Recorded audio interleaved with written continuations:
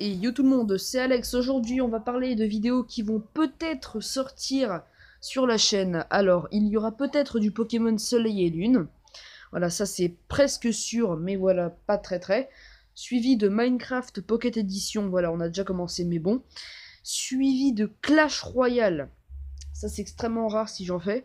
Alors dites-moi en commentaire si vous voulez que j'en fasse. Et il y a aussi du Animal Crossing qui est prévu, avec les courts-métrages, etc.